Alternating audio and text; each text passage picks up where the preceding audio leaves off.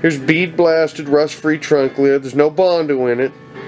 Any plastic needs to be put in it, that's your job, but it's rust free and primer. And here's the back edge of that trunk lid. You see it's bead blasted, rust free, primed. There's no Bondo in this trunk lid whatsoever.